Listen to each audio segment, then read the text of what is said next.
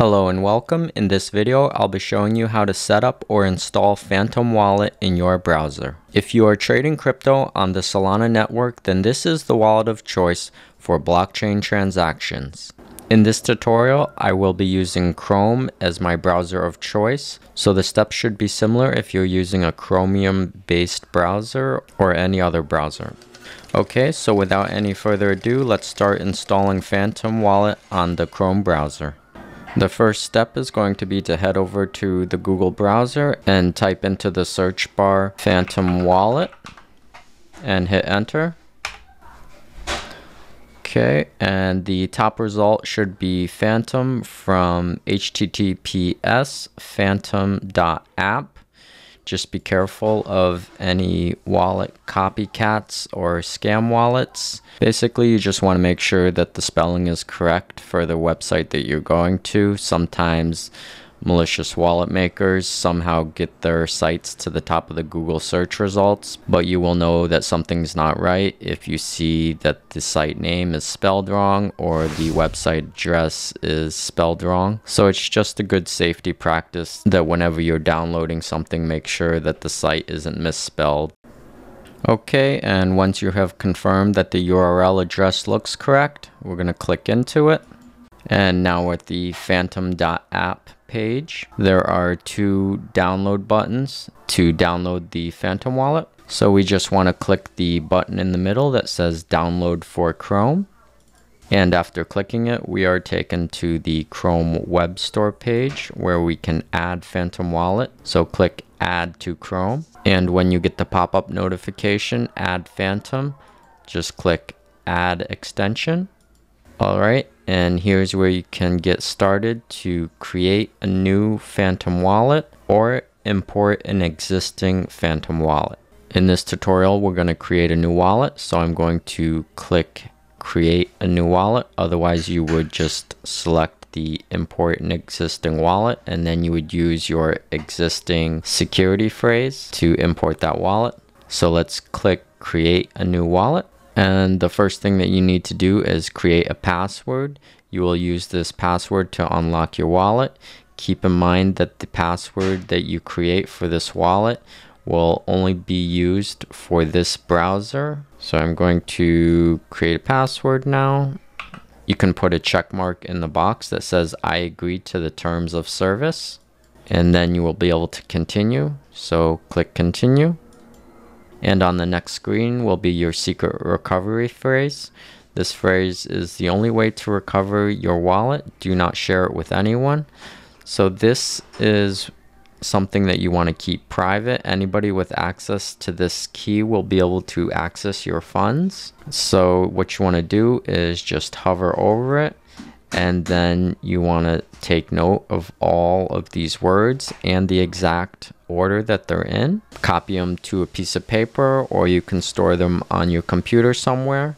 It's not advised to keep your security phrase on your computer just in case your computer gets stolen or hacked someone will be able to find your recovery phrase. So it's advised that you write this down on a piece of paper and keep it in a locked box or a safe for the purpose of this tutorial, I'm just going to write this down in a notepad. So I've copied down the secret recovery phrase onto a notepad and just take note that I put everything in the same exact order as they're listed here.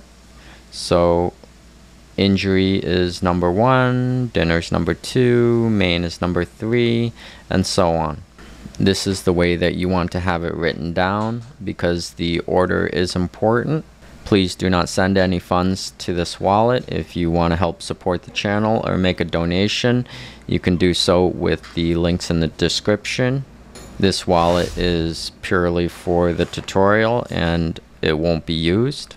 And now that you have saved your secret recovery phrase, you can put a check mark in the I saved my secret recovery phrase and then click continue and now it says you're all done you can now fully enjoy your wallet and you can press get started okay so to start you want to pin the phantom wallet extension to your browser so you want just want to click on the extensions button and then look down for phantom and click on the pin. That will pin it to your browser extensions. And then to, anytime you want to access it, you just come up to your pinned extension and left click it. Okay, and I'll just quickly give you a little insight to how to use the wallet. Up at the top is your account. You can rename this if you want. Just hit the edit button and then you can click into edit and change the account name to and save it and then X out of it. Okay, and then there is a little copy button. So if you're going to receive Solana, you just want to click on your Solana address and then that is what you want to paste into the sending wallet or wherever you're sending crypto from.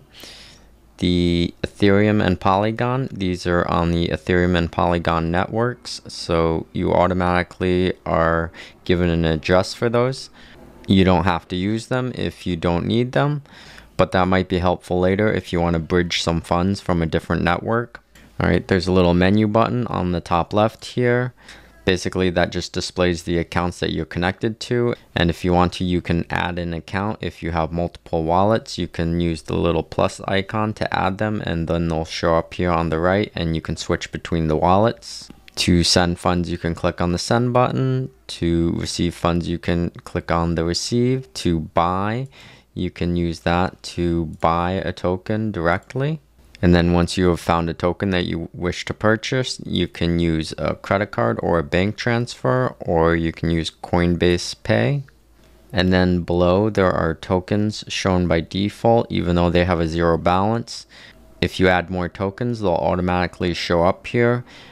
They will only show if you have a balance that is not zero. On the bottom, there's a few buttons. We're on the dollar sign, which is basically like your home page or layout. Then the next button is your NFT storage.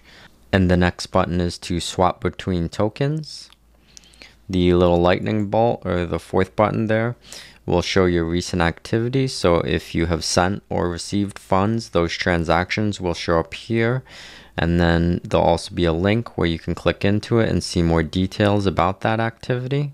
And then the little globe here, you can browse apps, tokens, collections, um, quests, or learn about crypto. If this video helped in any way, please consider giving this video a like and a subscribe so that more people can find this answer.